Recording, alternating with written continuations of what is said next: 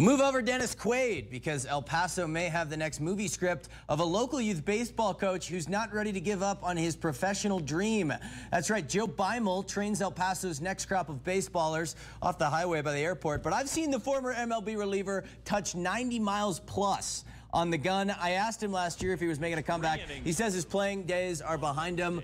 Well, you're a liar, Joe Beimel, because he was signed today by the San Diego Padres to a minor league contract and will report to Double A San Antonio. Uh, Beimel's 44 years old. This is a guy who, for the last two years, has been training among El Paso high schoolers at his baseball facility. Now he's going to join, join a clubhouse with guys who weren't even born when he made his debut in 2001. I'm sure the kids over at Beimel Elite fired fired up with their coach, Joe. I personally volunteer to gas up the VW bus and drive to San Diego for when he makes his return to the MLB.